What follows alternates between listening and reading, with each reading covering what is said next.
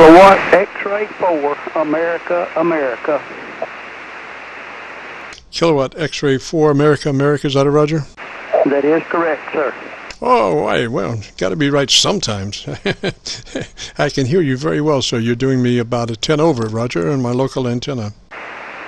Okay, uh, well, you're 20 over S9 here in Alabama. Your name is Bob, Bravo, Oscar, Bravo. Yes, sir, Bob. And uh, what radio are you running today, sir? I'm running the uh, ICOM uh, 7, uh, well, what am I running? The ICOM 7410. Uh, I've got two or three here. ICOM 7410 today and uh, the uh, Dentron 2500 amplifier. Uh, Roger, so you're running what, uh, about uh, 600 watts or so? No, that's correct, about 700 watts. Roger, well, it's doing you a fine job. Uh, I'm copying you on my local antenna, my local dipole, at uh, probably about uh, 10 over, Roger. Okay, thank you, sir. Where did you say you was located? Uh, we're next door to Louisville, Kentucky. We're on the uh, Indiana side of the Ohio River, right at uh, Louisville, Roger. Okay, sir, and I'll get your call on the next over and let you uh, move on to the next one because I knew there were several in there calling, and uh, I would guess uh, I was one of the lucky ones. Uh, back to you, sir. Kilo X-ray 4 Alpha Alpha. Roger, Roger, Bob. Well, your radio sounds just excellent. You have nice EQ, very intelligible, and uh, your dynamic range is running about uh, two and a half to three dB. Again, uh, optimal for exactly uh, you know the right uh, dynamic range, uh, the right fatness.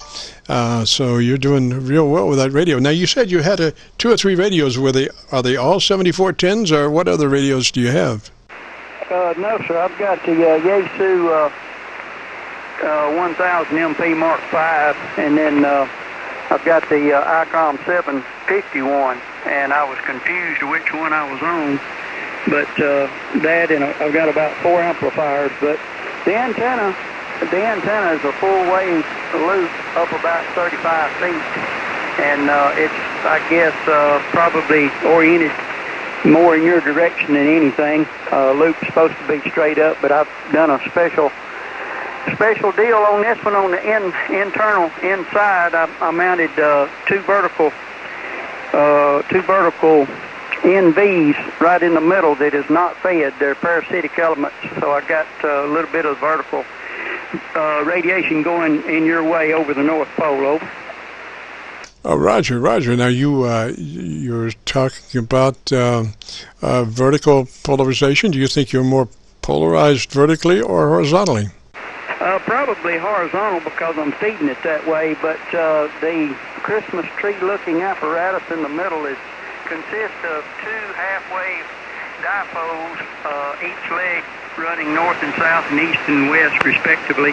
They're parasitic elements mounted right in the middle of this horizontal loop, and uh, I've worked New Zealand and uh, Australia on 40, so it's doing pretty good.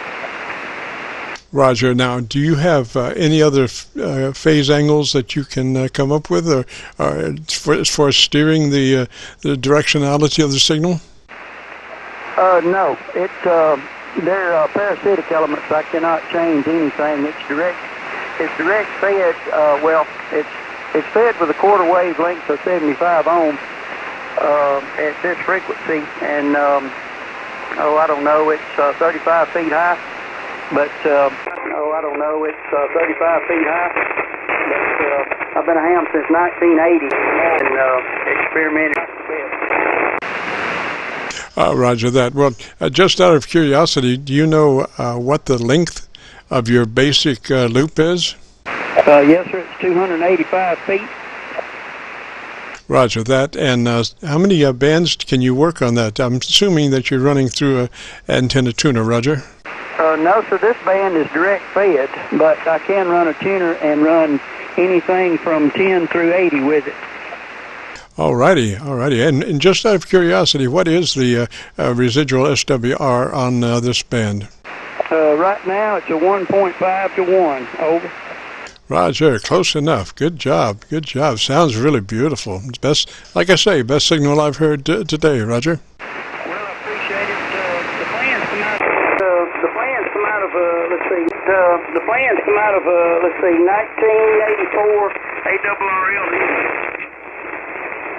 Uh, roger that. Roger that. Well, it's, it's doing you a great job. I appreciate you uh, checking in. Like I say, your radio is just sounding sounding beautiful. Yeah, checking in.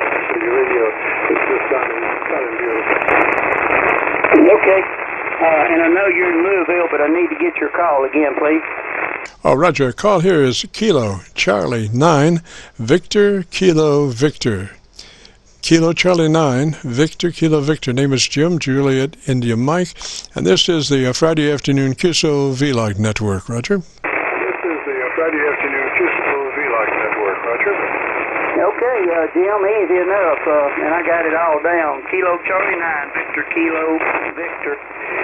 Thank you very much, sir. And I'll uh, move on and let somebody else take over. This is Kilo X-Ray for America, America in Alabama. Roger, Roger, three, sir. Thanks for dropping by. Appreciate uh, the call there. And if you get a chance, uh, drop back by uh, next Friday. We uh, run every Friday afternoon between 3:30 uh, and 5, and record uh, all the way, and then post it up on YouTube. So if you would like to hear your station, if you go to YouTube and do a call letter search for Kilo Charlie 9 Victor Kilo Victor, that will take you to our QSO Vlog page.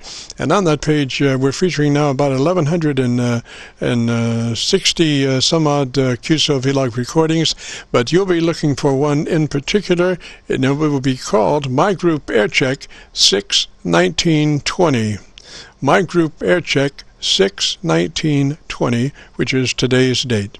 So uh, we'll say uh, threes, Bob, and you have a good afternoon. And uh, uh if you get a chance to join us next Friday, this is KC9 VKV, the Friday Afternoon QSO Vlog Network. If you have a radio you want to check out, give me a shout.